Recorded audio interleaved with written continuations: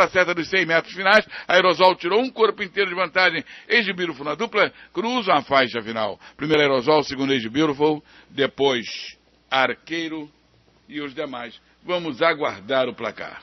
Mais uma vez, Dalto Duarte, pela quarta vez em nove pares. Dessa vez deu um